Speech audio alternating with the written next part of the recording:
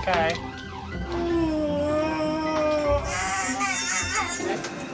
There you are. All right. We're back on shift inside the ambulance It's on. It's on. Let's go. Ah! with more medical emergencies Mate, is that a little bit better now? and more cameras. Want to turn you on? Yes, turn me on, girl. Turn me on. We're taking you back to the heart of the action. It's a sharp scratch at Capewood. There are some new faces This could potentially be quite hazardous. and some old friends. Seriously? Oh, that's disgusting. Body mounted cameras record every moment nice and slow. to show you what goes on behind closed doors. Caroline, can you hear me, sweet? Crikey, that is a chunk. You'll be on the front line with the paramedics from the West Midlands Ambulance Service. I reckon you could do this job, you know. Woohoo! Take a big deep breath and hold it for me. Never a wasted moment when I'm being paid by the ambulance service. as they deal with 3,000 emergency calls each day. There's nothing to worry about. That's not too bad, Petal, is it? No. You were eager to come into the world, weren't you, Chicky? Step inside the ambulance. I love this job.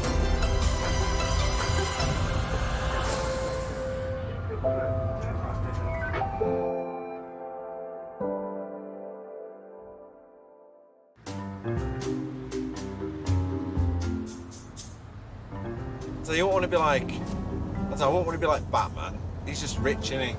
He's not got any actual superpowers. No, not really. Superman's just a bit too super, isn't he? Like, Yeah. I don't want to be the Hulk. No. Because every time I like turned into the Hulk, I'd lose all my clothes. I couldn't be Spider-Man because I don't like spiders. Iron Man's just rich as well. Probably Thor, you know. I was just god, thinking? Thor. And you like playing with hammers. What superhero would you be?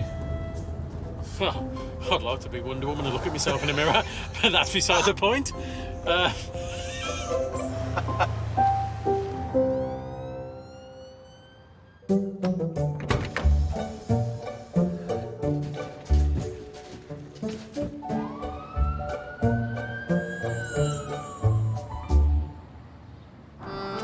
It's coming to the end of a busy 12 hour shift for ambulance crew Hannah Simpkins and Michelle McNulty.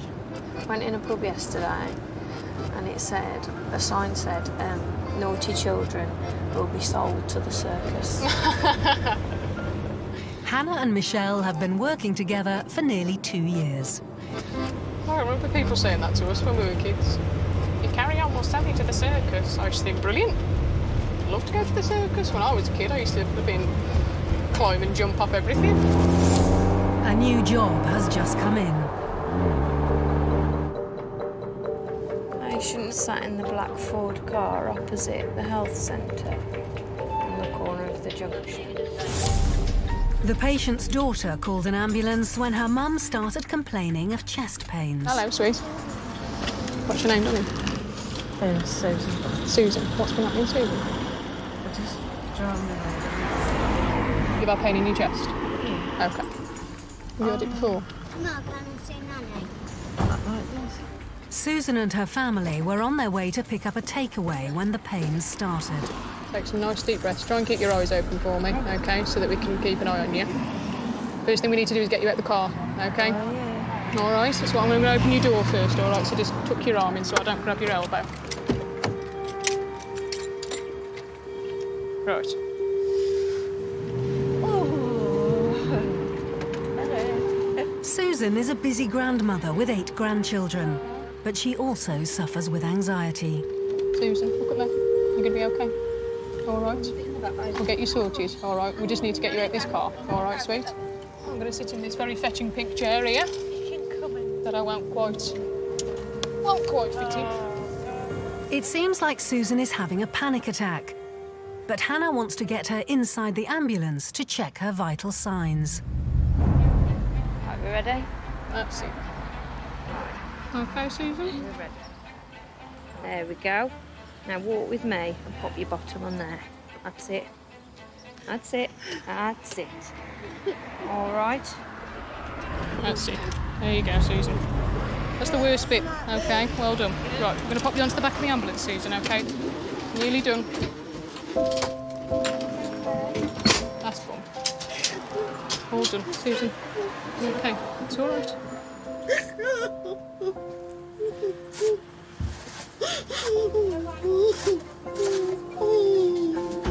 Got some tissues, sweetie. All right. Just relax this arm for me, Susan. Susan. Susan, look at me. Look, I know you're in pain, okay, and I know it's not nice, all right? But just try and relax for me as much as you can, okay? Nothing bad's going to happen because we're with you, aren't we? Just stupid. Something stupid. So little. Well, that's all right, then, isn't it? There's nothing to worry about. Okay? I know. And I don't blame you. Since I've been in the service, I've seen an increase in the amount of people that are suffering from panic attacks and anxiety and things like that. It's difficult to say, really, why more people are suffering from it than they would do normally. There's more stresses and strains in life, which is causing people to have anxiety and things like that. Susan, listen to me. Are you under a lot of stress at the moment? Yeah. Yeah. What's been happening at the moment that's been stressing you? Oh God, everything. Um, depression had gotten worse, and it ain't helping. And then they've stopped me money, and then ESI won't help me because depression's not good enough on the sick note. and Yep. Nobody's nobody's bothered now. So I'm just Have you ever suffered with anxiety in the past? yeah, Okay. Have you ever had tightening in your chest similar today when you've had them in the past? yeah. Yeah. Okay. I just these were just it come from nowhere. It was so so hurt. When they're having panic attacks, and normally people's heart rate goes up, their breathing rate goes up, which then makes them feel dizzy, which then gives them a tight chest, and so on and so forth. It's a very powerful feeling to, to have take over you. Susan, have you ever had these sticky dots on your chest before? Okay. Michelle still wants to check out Susan's chest pains, so does an ECG test. How old are you, Susan? Fifty six. 56. Body's ninety six. So. So I feel. Right, if you just stay still for me, no talking, just gonna do this trace of your heart. The test monitors the electrical activity of Susan's heart. See, I'm alive and kicking. You are. You're still beating all in the right places, Susan. Do you prefer Susan or Sue, or you're not bothered? Sue. Sue. Susan's in trouble. Eh? We'll call you Sue, Sue then, because you're not in trouble today, not with us. The ECG isn't showing any abnormalities, but Hannah is more worried about Sue's blood pressure reading. Your blood pressure's quite high at the moment. We can't categorically say one way or another whether it's something to do with your heart unless you have a blood test. And also, um, I wouldn't be happy for you to, to go home without seeing a doctor.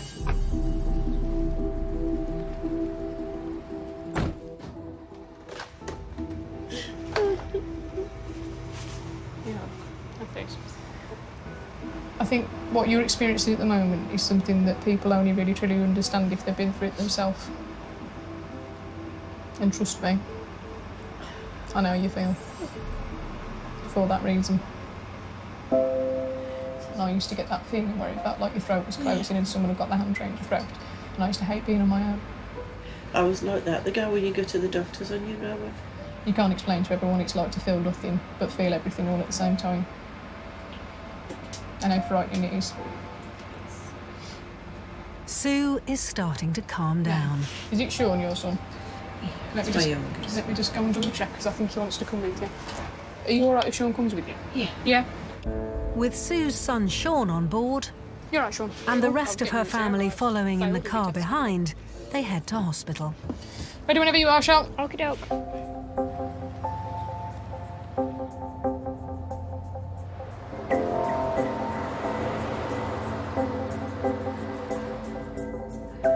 Oh, my body's going to floaty mode.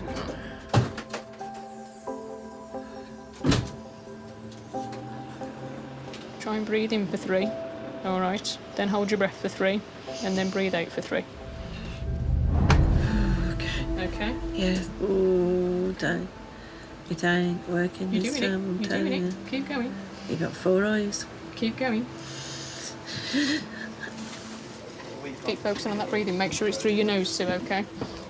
It's physically impossible to hyperventilate through your nose. Doesn't happen. Keep breathing, yeah? Okay. There we go. Right, little bump, we're going to go down the ramp, Sue.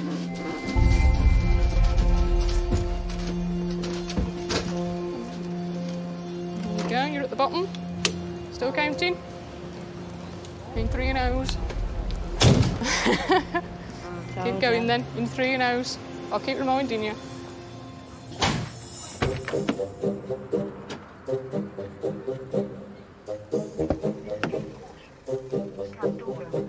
Ah! Twice. That's really mean. This Where's one's better. pen, you pikey? That one's better. I don't think there's been a cloud in the sky all day, has there? There. Oh, yeah, there's one, sorry. Damn these observation skills of mine. Oh, funny.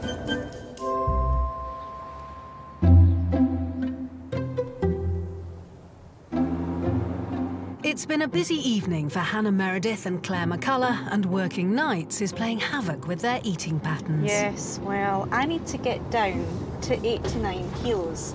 So, That's very precise. my goal is by tomorrow, which I doubt it, is to be 99 kilos. I was hovering this morning, hovering on the 100 kilos mark. 100.3 kilos. Oh, so I need to either have another massive food baby That works. Do you ever do that? Like, just like go to like weigh yourself and then like decide that you need a really big poo, and then go and weigh yourself again and go, I must have You're like, lost yes, some weight. I've done it. Yeah. That's what I'm going to do tomorrow when I wake up. Right. Fancy a Mackie D's? They've only got half an hour left, but there's no time for snacks. 999 road activated. Uh, 23 year old male, uh, chest pain, cardiac in nature. Chest pains are the highest priority call out. It's rare to go to someone who's just 23 years old. Pain when pressing area. Updated assignment. This one here. This one here. Three minutes later, they arrive. Hi there. They're met by the patient's brother, Akib. The crew's body cameras will record everything that happens inside. Hi. My name's Claire. Um, have you called for an ambulance this evening? Yeah. What, what have you called with? Really bad heart pain. Really bad heart pain. Have you got any um, cardiac history at all? No. Aman has been experiencing serious health problems for the last few months. When I first saw him, he, d- he didn't look comfortable at all. Um, he just looked really poorly, and his brother genuinely looked quite scared. He's on loads of medication. Right, okay. Have you got a list of that medication? Oh, right, lovely. I'll have a little look at this. So, what kind of medical problems does our young man have then? He sweats a lot during the nights. He's got uh, testicle problems as well. Right, okay. Is he under investigation for that? Yeah, he did. Right now, uh, they've done some CT scans and everything. And Okay. They've done some cancer scans as well. Right, okay. Aman saw his doctor that morning, who gave him painkillers for severe stomach and muscle pain. Now they're thinking of stomach cancer. That's what they're saying. So. All right. Is, so, has he had lots of ongoing issues in yeah, the past? Yeah, they've given all these tablets and So, is it mainly in the stomach that he suffers with this pain? testicles. And oh right, and the pain sort of rises up. Right, I've got you. Okay. Is it painful when you move? In my shoulder as well. And your shoulder as well. Have you been heavy lifting at Just all? need this No. one. No? You're not done any like, you know, throwing footballs or rugby balls or or any kind of sport and activity or Not been feeling well for a long time. I mean I looked through his box of medications. He was on some really heavy duty pain relief. Upon looking at that we're like, well we, we can't really give him anything more because we could end up overdosing him. So it's a case of um, well, there's got to be something going on here. What about round here? It's all tender. oh, yeah. Yeah, yeah. You've got some knots in your shoulders. Aman's lymph glands are swollen. and his heart is racing too. I need you to keep really still for me, okay? She's just taking a picture of your heart, okay? Um, you on your ECG, you've got what we call like a, a T wave abnormality. An abnormal heart reading could be caused by a variety of conditions. Whatever the reason, it needs to be investigated. So I, I honestly think that it would be a good idea to go and have a blood test done up at the hospital, especially with the, pain that you're in at the moment. Yeah? Okay. You've taken so much blood tests already. I know you feel that you've got none left.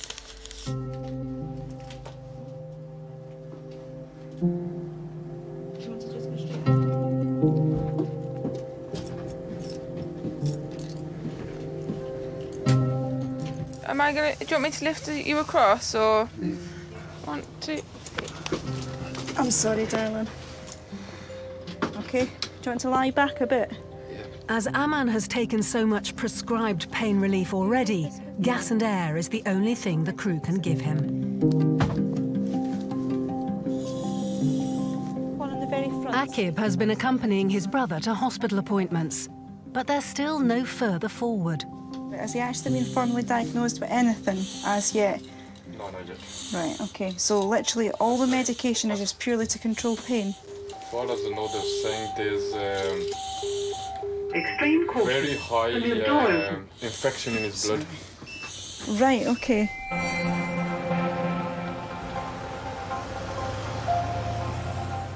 Have you eaten anything today? You have, and did you manage to keep it down and everything like that? Yeah, you've not been sick. Okay.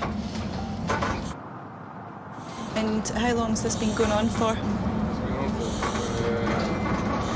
uh, three, four months now, I think. Three or four months, and he's lost three stone in that time. Yeah.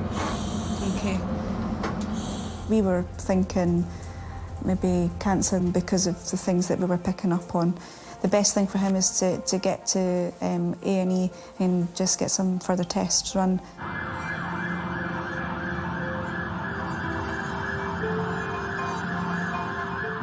Hospital within minutes, where the doctors will try to manage Aman's pain, while he has further tests to find out why he's been so unwell for the last three months.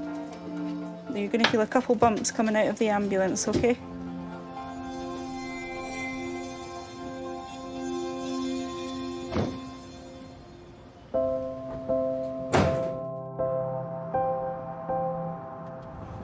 Did the brother say? I was asking the brother um, about the condition, like, you know, had Why he was on so much pain relief? Yeah, yeah. He has been in and out of hospital the past three months with chronic pain in one place or another. Then he was having like loads of really bad stomach pains, sickness, diarrhea, and at the moment they're testing for stomach cancer. I hope it's not for his sake. On the other hand, I hope they find a diagnosis for him though, because that's half the battle sometimes, isn't it? And That's half the it, I worry is mean- not knowing what you're dealing with. Yeah.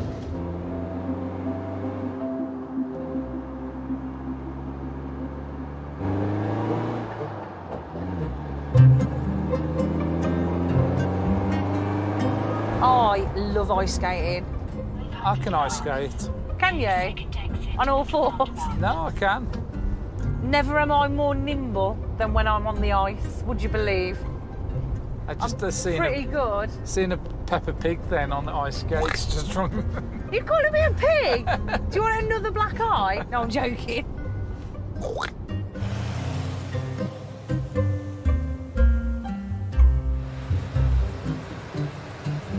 Do you pre-cook the food first when you have a barbie? No. See, I do. Why do you? That's what a barbecue's for. I know, but I can't trust that it's. I cook it properly. I can't trust that I cook anything properly. I was going to say, can you actually can't trust your cooking at all? Not really. So you pretty much do a barbecue just to get that charcoal taste? Yeah. Just that's the fun it of it, isn't it? That's the fun of having a barbecue, cooking it, and the risk of salmonella makes it a bit more interesting, I find.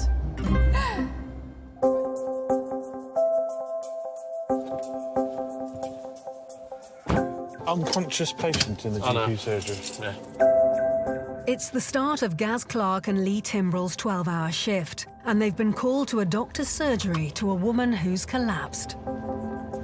999 mode activated. Unconscious, normal breathing, no indication seen and safe. Call from authorised person. Individual lying on the floor and able to be rolled onto side. Another nice day at the office. Updated assignment. Was having blood test has been unresponsive for over five minutes.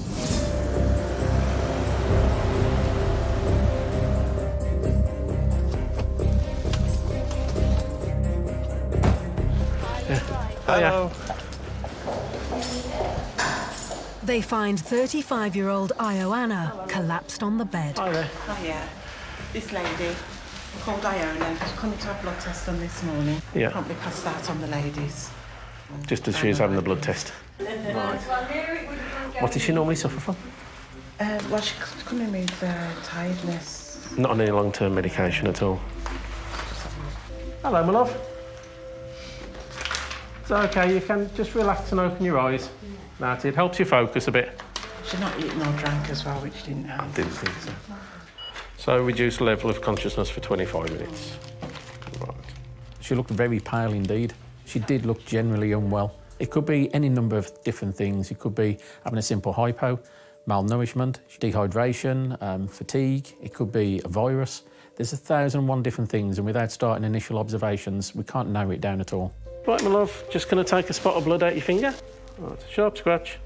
First thing is why is, why is the blood pressure dropping? Is it cardiac related? It's then a case of has she got loss of blood, having um, a bleed internally?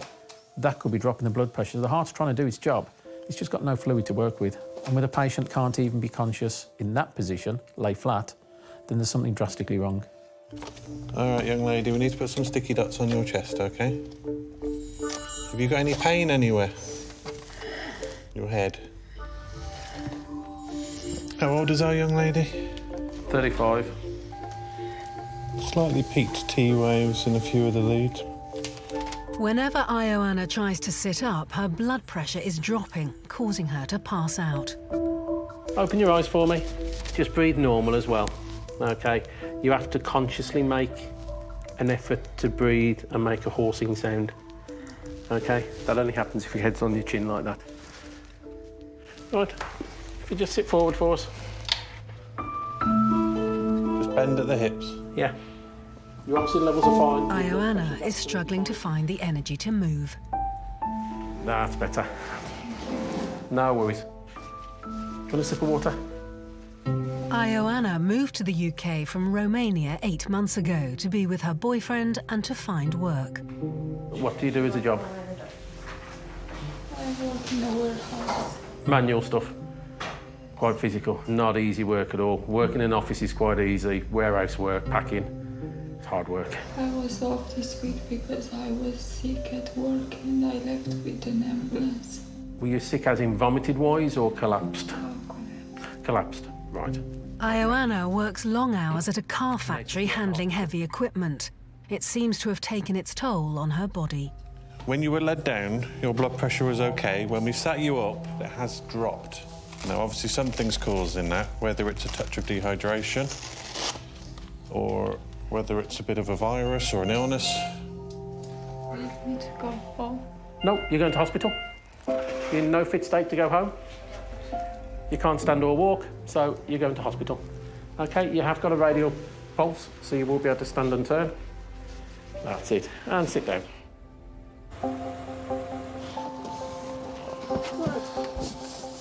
Okay, we'll stand up. That's lovely.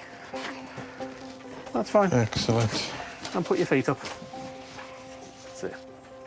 There we go. I'm so cold. So your body temperature was okay. So you may have a, an illness which is tricking you into thinking you're cold.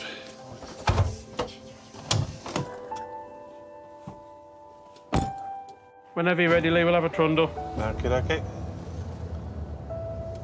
Any kind of warehouse work, whether it's packaging, whether it's collection, I'm carrying cardboards all day long. it's physical. Yeah, it's long physical hours, it really is. It's 44 hours per week. Yeah, of graft, working properly. How have you been eating? not so much. Not really an appetite. No. No, you've got to ask you certain questions. Now, have you got plenty of food in the fridge? Have you got food in the cupboards? So you can afford food. Yeah.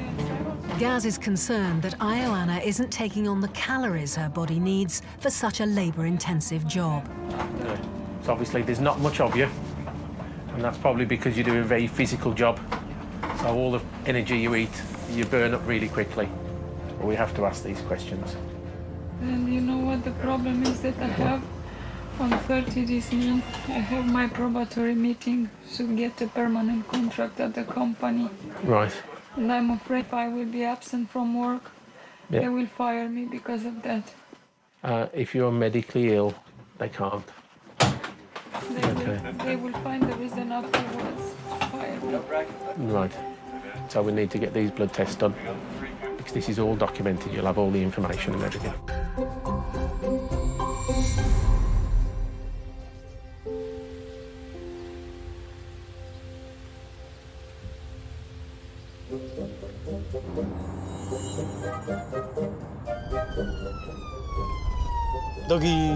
I like dogs.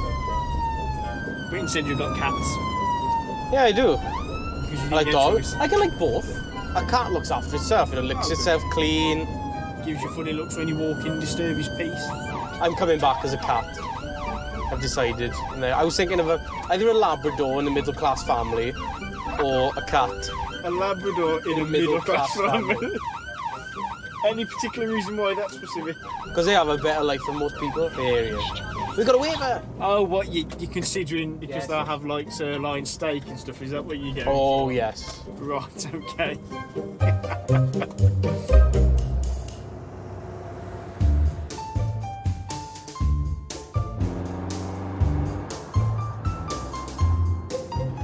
I've hit that two hours left brick wall now. yeah, me too. This heat really isn't helping. It's still 23 degrees. My mum sent me a message earlier on. Yeah. That said, so the air temperature's 31 degrees and the pool temperature's 24 degrees. You're joking. Yeah. Your stepdad's in the pool. Great. Thanks, mum. And I'm here, sweating to death in my little green jumpsuit.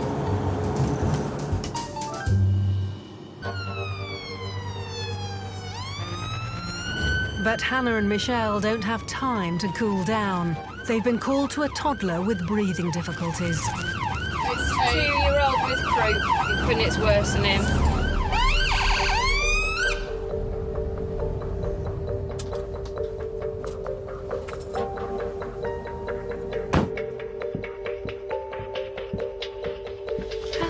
Right. What's been happening then, Chip? He's got, is it, got a copper and is it cr- Croup? Croup. Yeah. How do you know he's got croup? Has he been to see the doctor? Yeah, earlier tonight. Hello, sweetheart. What's his name, Jay? Ollie. Croup is an infection of the windpipe and the voice box, which makes it difficult to breathe. Hello, mate. Has he slept at all tonight? Um, this is the first. He's been asleep for about half an hour. Okay. And then when he's he had bronchiolitis, not last year, the year before, and his oxygen levels dropped. Okay. So it just scared me.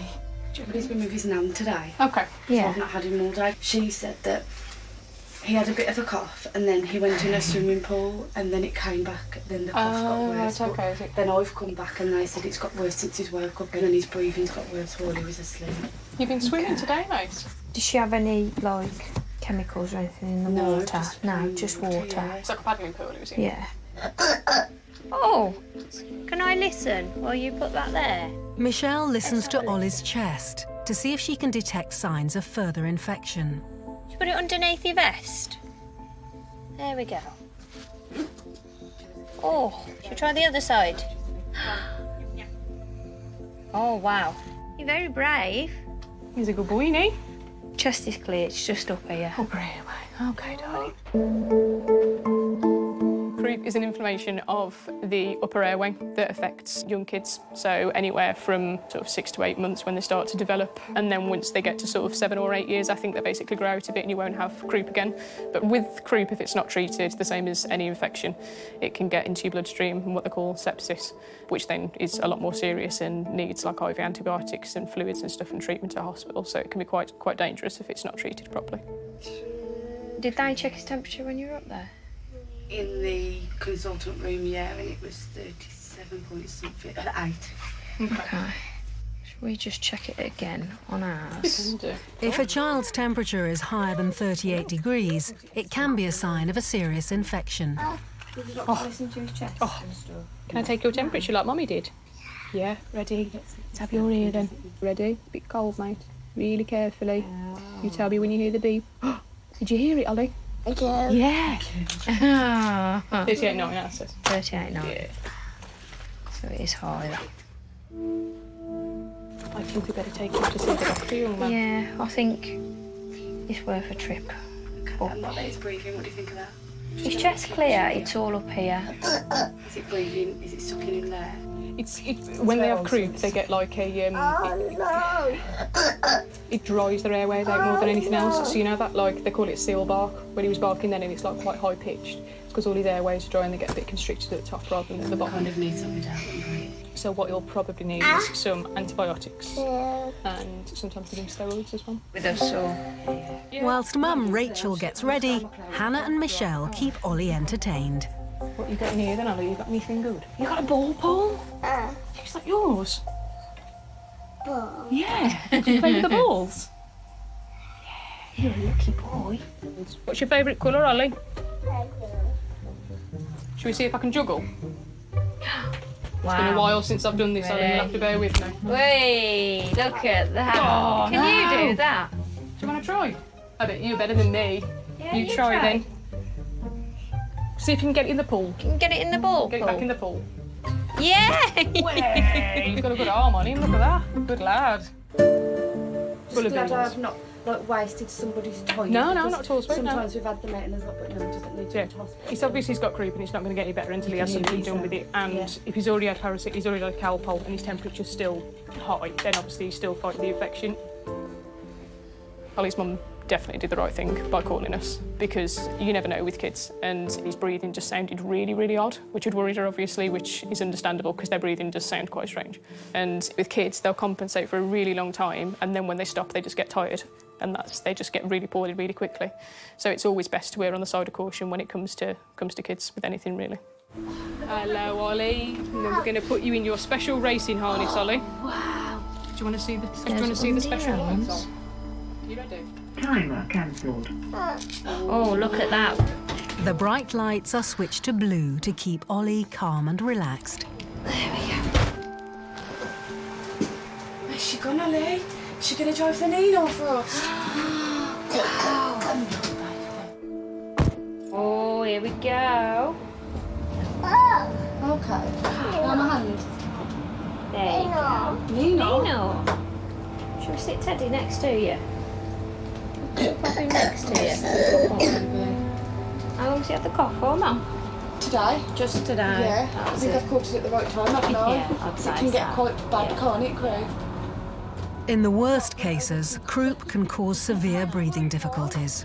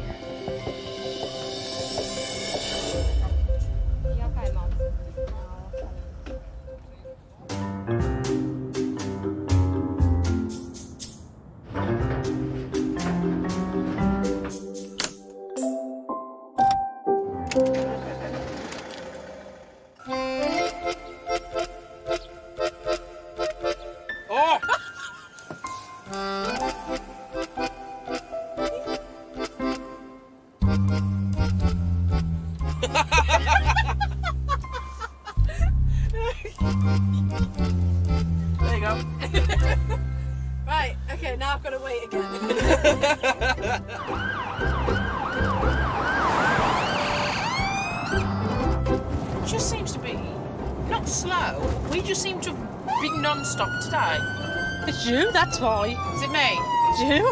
It's me. Too quick. Too quick, too eager. I'm short like a mouse. which we've clearly clarified. Definitely clarified that one. and I'm a little, little whippet. Are you going to slow down now? I am, I've got to slow down.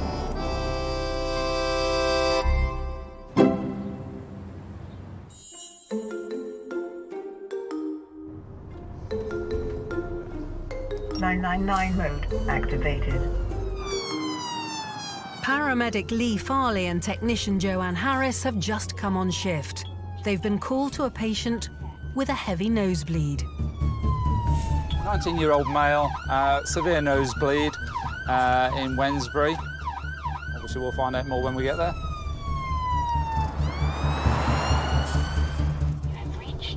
So it's just here. Let's book us in attendance.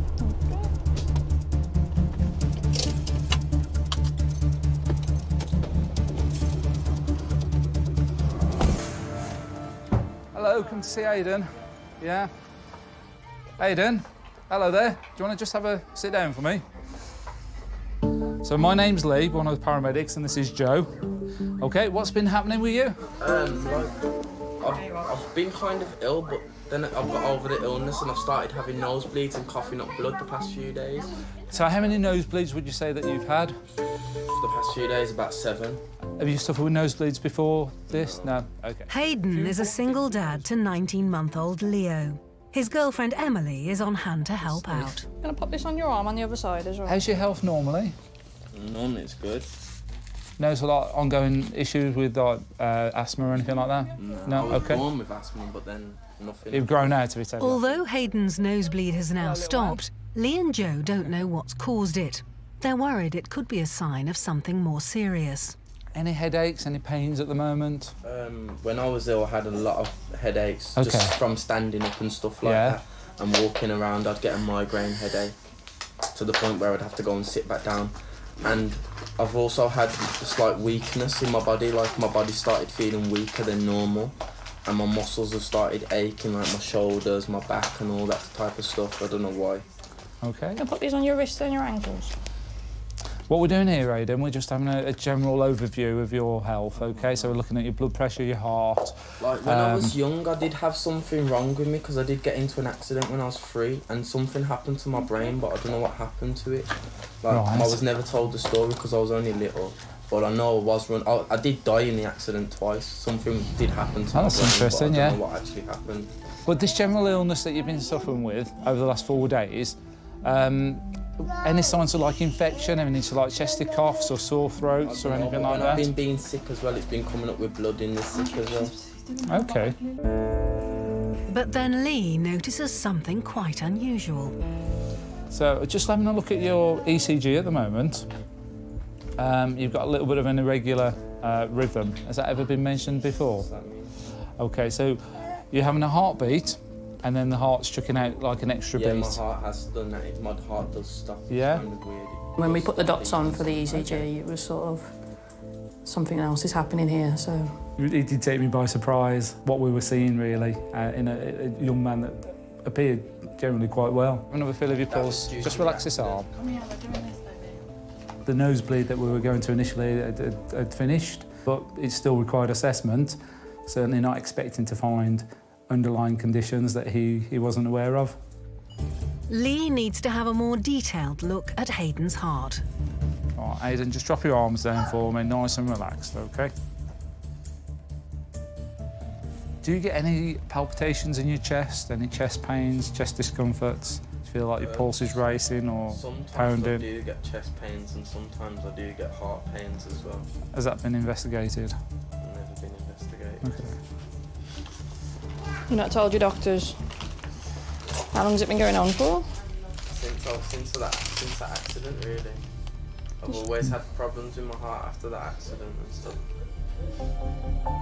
Lee and Joe decide to take action. Hayden needs to go to hospital for further checks on his heart and leaves his son Leo at home with his girlfriend.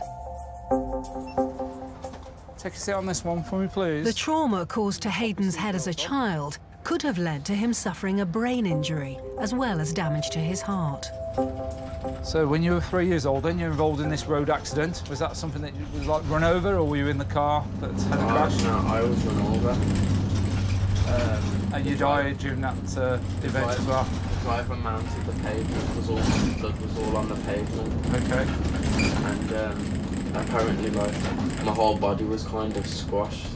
Oh dear, so lots of fractures. Yeah, and obviously my, I think my foot was broke, my leg was broke. Something was wrong with my brain as well. Apparently what my mum was saying. There was so much blood gushing out of my head. Has that affected you in your adulthood?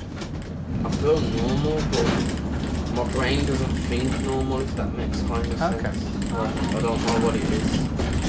And I've got this, like, for some reason I get angry at certain things and I shouldn't get angry. I know to myself I shouldn't get angry at certain things. And you relate that to the accident, do you? I relate it to the Okay. accident. So you call for the nosebleed and we take you in because of your heart? I said that. So that's good, isn't it?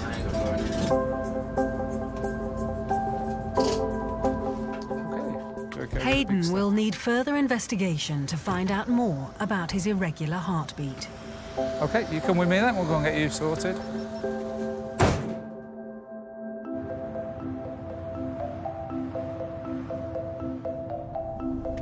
Well, I wasn't expecting a 19 year old to have I Wasn't expecting him at all. ECG changes. You said he can remember the accident as well. I can't remember anything at that age. Should I ask him if his middle name's Lucky? Yeah, must be. Was like a cat.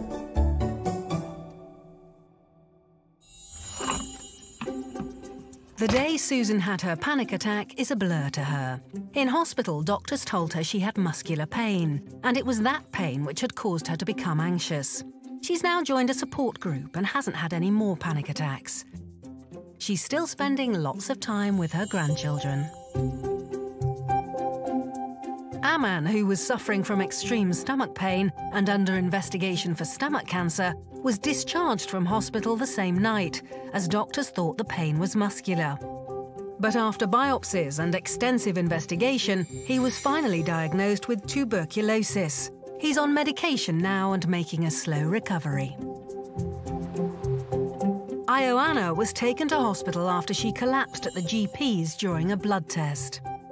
The A&E doctors think her fainting episodes are down to her being anemic and suffering from exhaustion. After some time off, she went back to work at the car factory, but hopes to find a job that will allow her to use her marketing and tourism degree. Two-year-old Ollie, who was suffering with croup, was given steroids when he went to hospital. He didn't need to stay in overnight and is now back at home playing with his mum. Hayden, who called an ambulance because of his repeated nosebleeds, ended up in A&E when the paramedics found he had an irregular heartbeat. After tests, Hayden was told there was no cause for concern about the heartbeat, but they never worked out why he was having nosebleeds.